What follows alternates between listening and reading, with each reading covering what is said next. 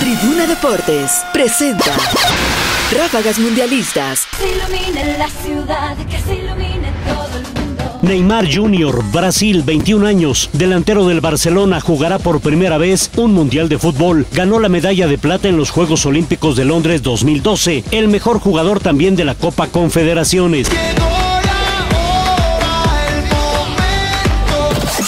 Tribuna Deportes presentó Ráfagas Mundialistas.